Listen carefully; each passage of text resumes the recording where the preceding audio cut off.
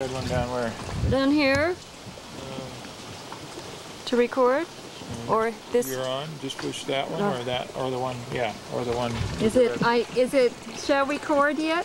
Yeah, it's ready to go. Okay, we're just. Record. Okay, do you see the red light on? Yeah, it's it's going. Here we are at the great fish cleaning hole. There's one that's done. There's Kenneth and Chuck. I hit pause a minute.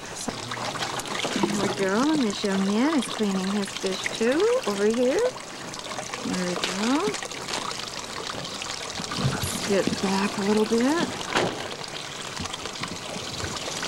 Only had nine bags left. Only nine bags left. Whoa, look at all these fish. No, there were not that many. There, it's the great fish cleaning. Go in the famous plastic bag by the great fisherman Kenneth Friedmann and Charles French. Take a close-up of this young man here cleaning his fish. And wait, I hear another noise, and here comes Mrs. Friedmann walking around to see the great catch. Mm-hmm. Okay, she's going to take a picture too. We did very well today. Mm-hmm. We've got lots of fish. Mr. Friedmann is looking very serious here. Mm-hmm. Oh, there he goes. That's it. That's going in the Hall of Fame. There we go. Chuck is throwing the fish in his bag.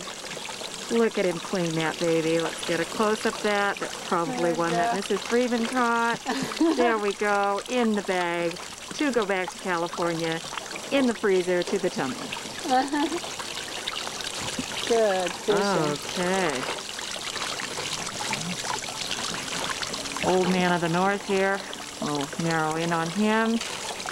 Look at that concentration. There we go. Look at that beard. Look at that. This is great. Let's see what he's doing. There he's going. He's dropping the fish into the bag, cleaning the fish, getting the guts out. Yeah. What do you think?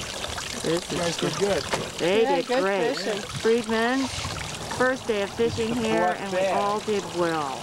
This is great.